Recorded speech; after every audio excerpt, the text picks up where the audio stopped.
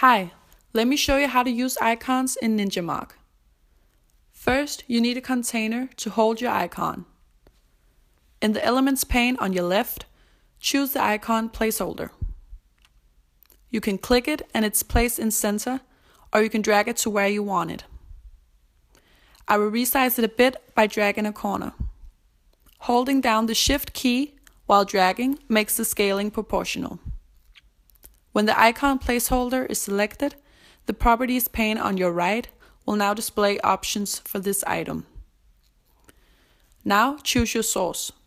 The icons under the tab named Icons in NinjaMock Icons. They differ by the type of project you are building to match that exact platform. These icons are vector based, which means you can resize them and change fill without losing quality.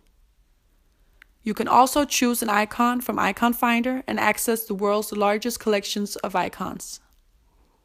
Set the size you want in the bottom, type in the icon you're looking for, and there you go.